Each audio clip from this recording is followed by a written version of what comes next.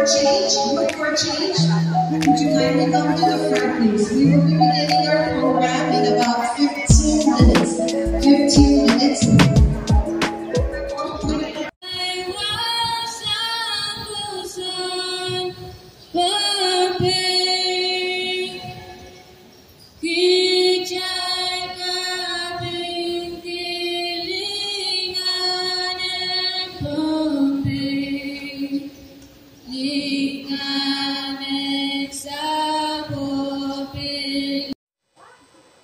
Hey, thanks for joining me once again on my video. My name is Patrick Pedrus. I live here in Pohnpei, Federated States of Micronesia, and I just want to share some clips from our International Women's Day. Happened earlier this week uh, here in Pohnpei. International Women's Day is a holiday. I think the only place in Micronesia, maybe even the whole world. I don't know. Anyways, um, it was held at the Colonia China Friendship Gym, and it's where all the ladies come together, the women's group, and they have a program where they dance and they celebrate being a woman and they had guest speakers that came from Guam. Uh, one lady was from the uh, coalition uh, against like family violence and stuff like that. Um, she gave a speech, and also a judge from Guam Superior Court who's uh, also like in family violence or family law. Anyways, family court. So a lot of the stuff they talk about or they talk against, of course, is violence against women and children, uh, mostly girls and women.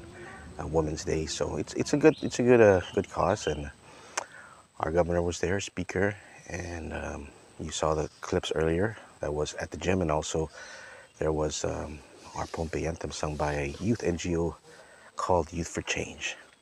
So I apologize because I don't have that many clips, but just about maybe two female groups, and maybe I'll put a link below of uh, some other videos that were played that day so you can see more.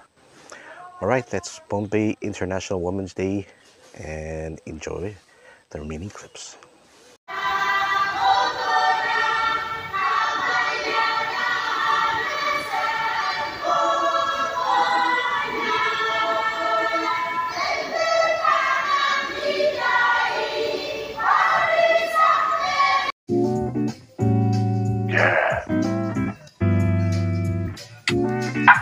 Come on, baby.